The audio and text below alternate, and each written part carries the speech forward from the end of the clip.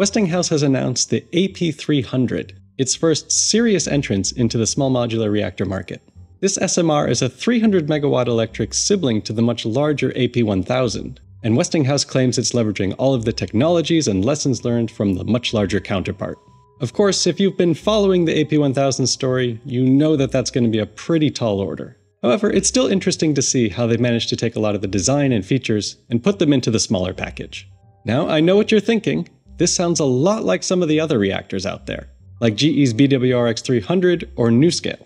And you're right, the AP300 is joining the market a little bit late to the party, coming in two years after the BWRX300 and about a decade after NuScale.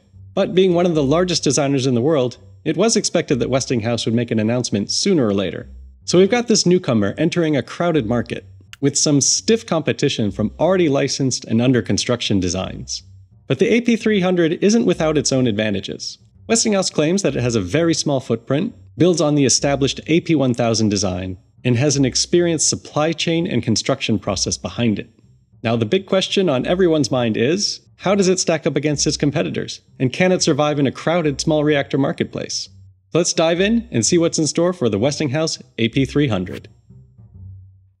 Westinghouse has announced the AP300, a smaller version of its flagship AP1000 Generation 3 Plus pressurized water reactor design. The AP300 is a small modular reactor and, Westinghouse claims, is designed to compete in a crowded nuclear marketplace, leveraging its established development and operational experience.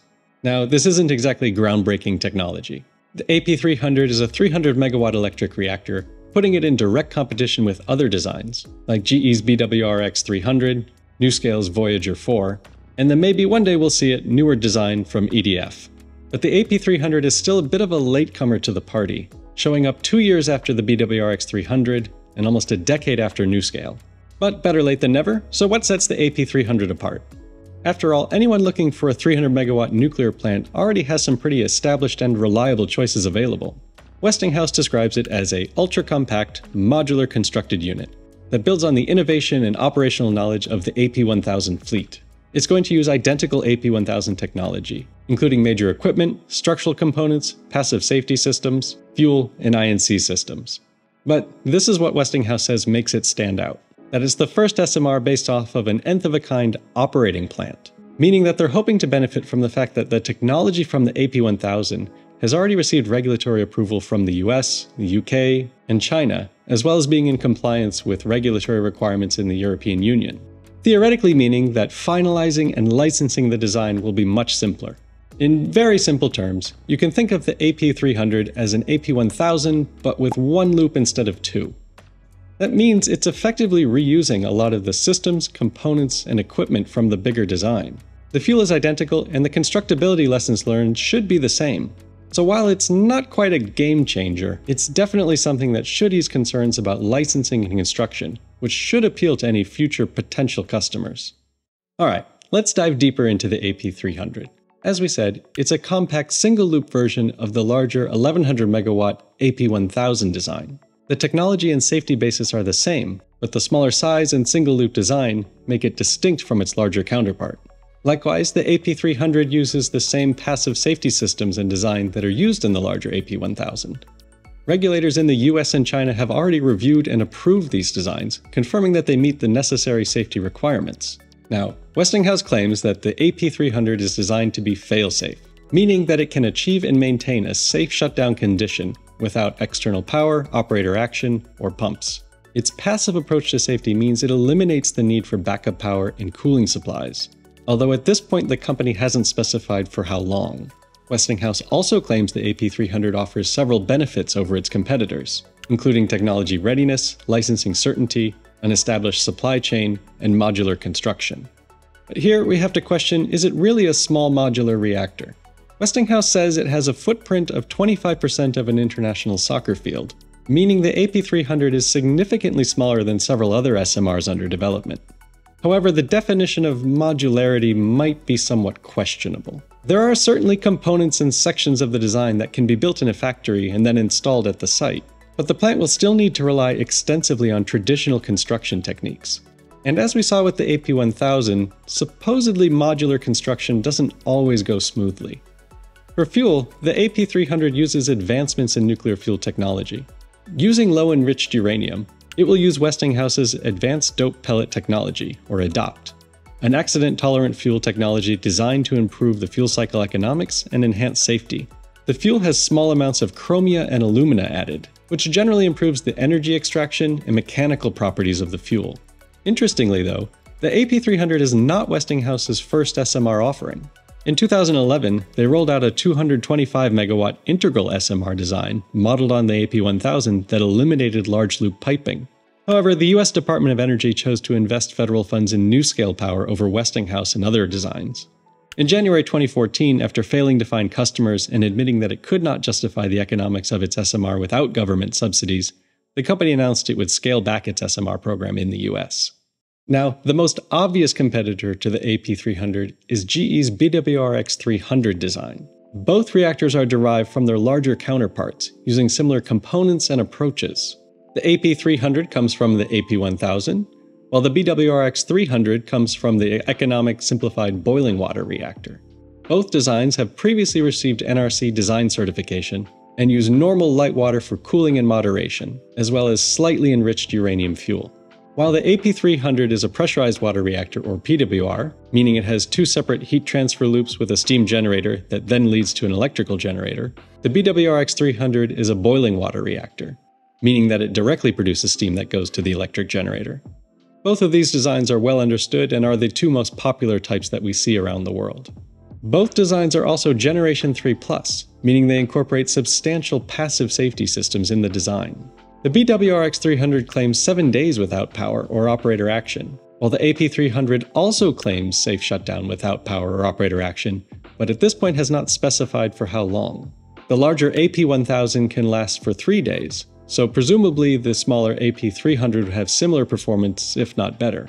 The BWRX is currently undergoing a joint regulatory review by Canada's CNSC and the US Nuclear Regulatory Commission. While the AP300 has submitted pre licensing documents to the US NRC, no formal regulatory review has started yet. Both designs are also a bit of a stretch of the term SMR, using a mix of modular construction and traditional techniques. The AP300 claims it will be less than 25% of a football field in size. However, the BWRX 300 also claims to be about the size of a football field. So this might just be some variation in defining of where the actual footprint of the plant starts and ends. In terms of deciding factors, both reactors have the same power output and don't have any big departures from traditional designs, but instead make incremental improvements.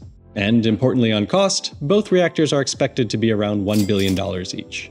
So what's Westinghouse's plan to enter a relatively crowded nuclear market several years after the others? Essentially, the company claims it has a technological advantage and an existing supply chain. However, it's probably a bit of a stretch to try and make those claims, considering the similarities between the two designs. Despite stiff competition, Westinghouse is confident in its ability to gain a foothold in the SMR market, citing its existing technology licensing and supply chain. The company says it is in discussion with the NRC and potential customers for the AP300. This is a big area that Westinghouse is using to push to customers that they should choose its design, that it has the experience now from building its AP1000 reactors. And to this, maybe yes and maybe no. Now, I'm not in the Westinghouse marketing department, but I would think that any reference to the world's most over budget nuclear project in history would be something to avoid. But credit where credit is due, at least they're addressing the elephant in the room. And at least it has plans built on a similar design. GE got the ESBWR design certified, but never actually constructed it. Like other companies marketing SMRs, Westinghouse is putting a focus on decarbonizing manufacturing and energy sectors, the company aims to deploy the first AP300 within the next decade, targeting NRC certification by 2027 and deployment soon after, a timeline that aligns with other SMR schedules. To address the challenges of delays and cost overruns, Westinghouse says it is optimizing the AP300's design and learning from its past experiences on the AP1000 projects. The company envisions that an AP300 plant could be constructed within three years, and with a 300 megawatt capacity, the AP300 is suitable for brownfield sites, where it could replace aging coal plants. Its smaller size and lower overall cost may also make it more attractive, despite the potentially higher levelized cost of electricity compared to large reactors. Westinghouse is targeting markets where new nuclear power can be justified, such as state owned utilities in Europe. The US market might present more challenges due to increased competition from natural gas and renewable sources, as well as regulatory hurdles. On costs, David Durham, president of Westinghouse Energy Systems, said this isn't going to be too cheap to meter or equivalent to the cost of a gas plant. AP300s are going to cost more, but the benefit you're going to have is low cost production, low cost energy for the life of the plant, the 60 or 100 years that it's going to operate, and it's going to be very predictable. For one, you don't have the fluctuations that you have in gas, and obviously you don't have the carbon impacts that you get with gas or coal. Like other SMRs of this size, the AP300's potential to serve as a reliable source of low carbon energy with minimal environmental impacts could make it an attractive option for countries looking to reduce their carbon emissions. By providing a steady supply of electricity without the price volatility of fossil fuels or fluctuations of renewables, the AP300 could prove to be a valuable asset in the transition to a cleaner energy future. So what can we expect from the AP300? At this point, it's probably too early to tell, as we haven't seen any official customers or submissions to any regulatory bodies. We'll just have to see if Westinghouse's late entry into the SMR market can still pay off. I hope you enjoyed this slightly different style of video. If you loved it or hated it, please just let me know. Either way, thanks for watching, and I'll see you in the next one.